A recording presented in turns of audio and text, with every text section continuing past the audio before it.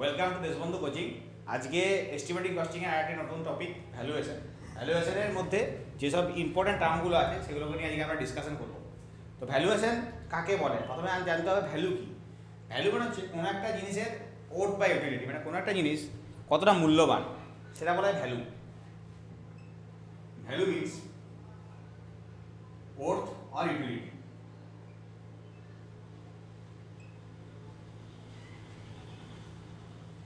cost যখন হচ্ছে, cost মানে যেটা আমাদের ক্রয় মূল্য বলতে পারি আমরা। আমি বাংলায় লিখছি, ক্রয় মূল্য। মানে কোনো একটা জিনিস তৈরি করতে বা কোনো একটা জিনিসকে বানাতে কতটা খরচা হয় সেটা বলা হয় কস্ট। প্রাইস মানে কোনো একটা জিনিসকে বানানোর পর তার তার সঙ্গে কিছু পার্সেন্টেজের প্রফিট অ্যাড করে যেটা বিক্রি করব, সেটা হচ্ছে প্রাইস মানে এটাকে বলা হচ্ছে বিক্রয় মূল্য এক এবার আসা যাক যে কস্ট প্রাইস আর ভ্যালু এই তিনটে জিনিসকে একটা সিম্পল উদাহরণ দিয়ে বোঝা যায় ধরো, কোনো একটা বিল্ডিং যেহেতু সিভিলের পার্ট পড়ানোর জন্য একটা বিল্ডিং তৈরি করা হয়েছে, কোনো একটা কস্ট পড়েছে হয়তো এক লক্ষ টাকা। সেই বিল্ডিংটার পার্সেন্টেজ অফ প্রফিট এবং এতদিন ধরে যে কাজটা হয়েছে, তার জন্য কিছুটা পার্সেন্টকে এক্সট্রা টাকা অ্যাড করে করে কোনো বেরিফিকেশন মানে আমাদের কোনো বাড়ি মালি বিক্রি করতে চাইছে সে হয়তো বিক্রি করতে চাইছে এক লক্ষ পঞ্চাশ হাজার টাকা। তাহলে এটা হলো কস্ট তৈরি করতে খরচা হয়েছে।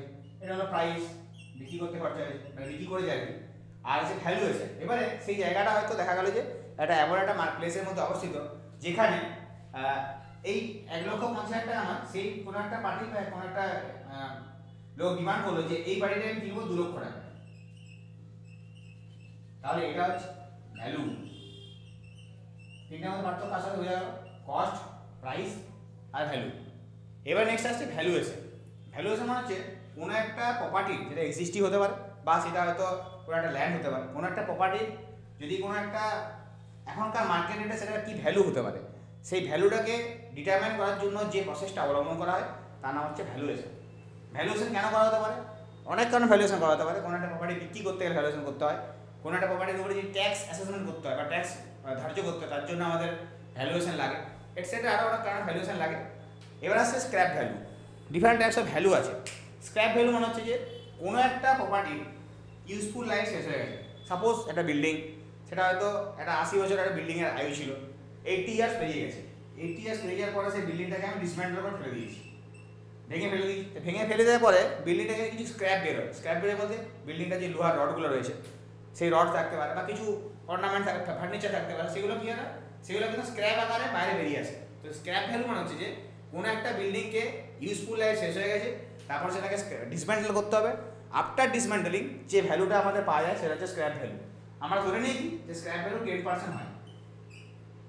স্ক্র্যাপ ভ্যালু টেন পার্সেন্ট হয় বিল্ডিংয়ের যে টোটাল দাম, তার টেন পার্সেন্ট স্ক্র্যাপ ভ্যালু হয়।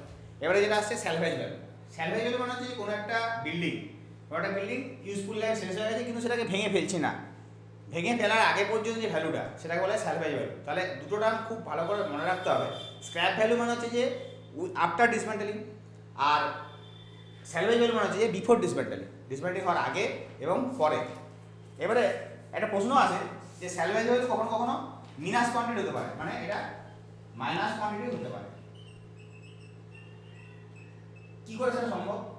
সাপোজ কোনো একটা বিল্ডিং সেটাকে ইউজফুল লাইফ শেষ হয়ে গেছে, এবারে সেটা ভেঙে ভেঙে ফেলতে হবে। ভেঙে মানে ধরো সাপোজ ভাঙার পরে স্ক্র্যাপ সাপোজ দশ হাজার টাকা।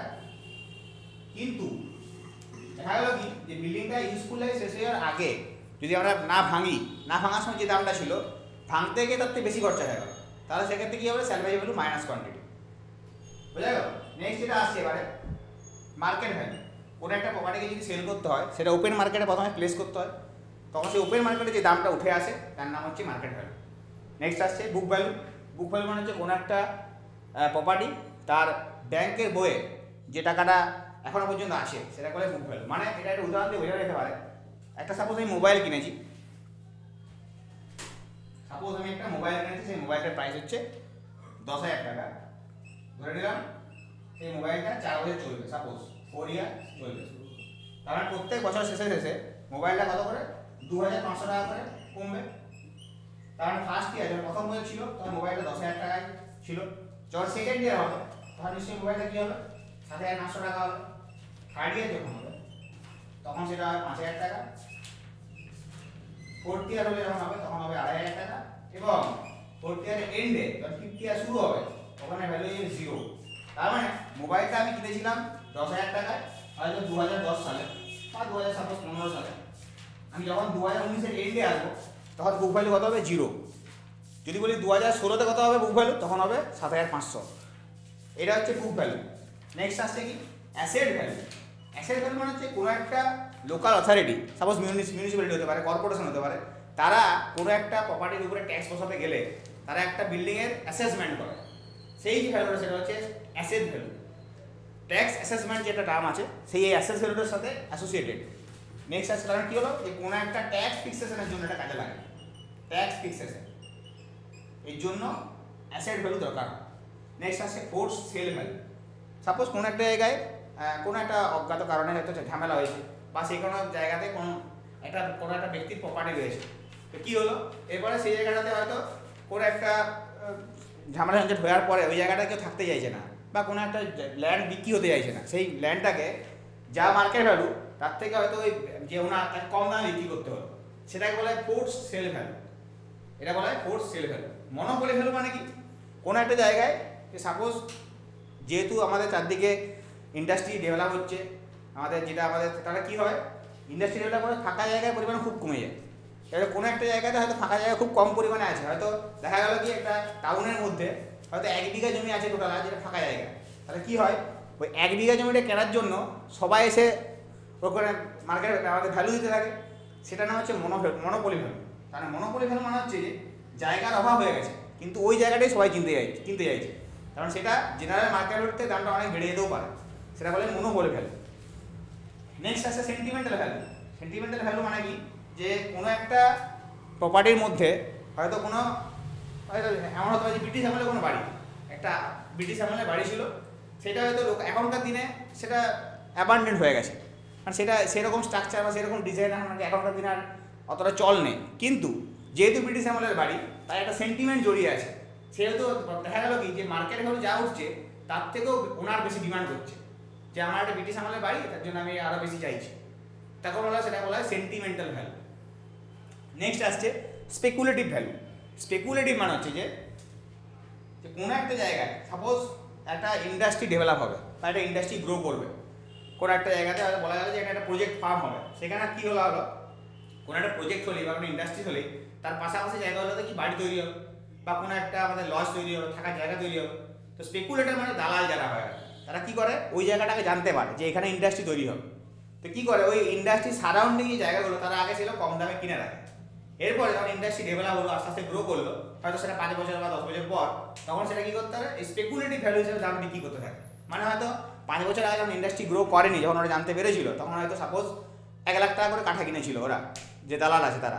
এবার যখন ইন্ডাস্ট্রি গ্রো করল আফটার ফাইভ ইয়ার্স বা আফটার সেভেন ইয়ার্স তখন কি করা গেল যে ওইরা যে এক লক্ষ টাকা দিয়ে কিনেছিল সেটা ওরা পাঁচ লক্ষ টাকা বা সাড়ে চার লক্ষ টাকা করে কাঠা বিক্রি করল। তাহলে সেটাকে বলা হচ্ছে স্পেকুলেটিভ ভ্যালু এগুলো এটা হচ্ছে, তাহলে এবারে যেটা আসছে, আমাদের আজকে লাস্ট ব্যাপার, সেটা হচ্ছে সিঙ্কিং ফান্ড সিঙ্কিং ফান্ড মানে হচ্ছে যে, কোনো একটা প্রপার্টি একটা আমরা ইউজফুল লাইফের পরে সেই প্রপার্টিকে যদি আমার ফিরে আসতে চাই, তাহলে কত করে টাকা আমাদেরকে এক্সট্রা অ্যাড করে রাখতে হবে?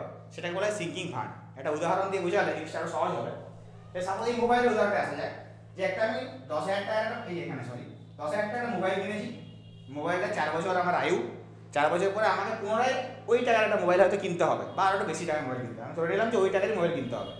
তাহলে যদি প্রত্যেক বছরে আমি যদি দু হাজার পাঁচশো টাকা মানে আড়াই হাজার টাকা না জমাই তাহলে নিশ্চয়ই চার বছর পরে আমি দশ হাজার টাকা পাবো না, মোবাইল কিনতে পারব না। সিঙ্কিং ফান্ড মানে হচ্ছে যে কোনো একটা প্রপার্টি ইউজফুল লাইফ শেষ হয়ে গেলে, সেই প্রপার্টিকে যদি আবার ফিরে পেতে চায় বা আবার রকম টাইপের একটা প্রপার্টি ফিরে পেতে চায়, তার জন্য বছরে বা মাসে বা দিনে কত করে টাকা আমাকে তুলে রাখতে হবে এক্সট্রা করে? সেটা বলা হচ্ছে সিঙ্কিং ফান্ড সিম্পল এই উদাহরণটা দিলে, এই উদাহরণটা বুঝতে পারলে জিনিসটা খুব সুবিধা হবে। তো আজকের মতো এই পর্যন্তই আমার এই টপিকটা ভ্যালুয়েশন নিয়ে আরও ডিটেল ডিসকাশন হবে আমাদের পরের ভিডিওতে। ততক্ষণ পর্যন্ত থ্যাংক ইউ